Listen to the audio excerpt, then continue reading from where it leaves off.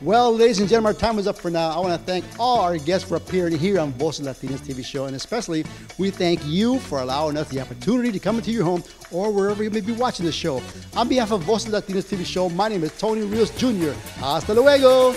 Ciao.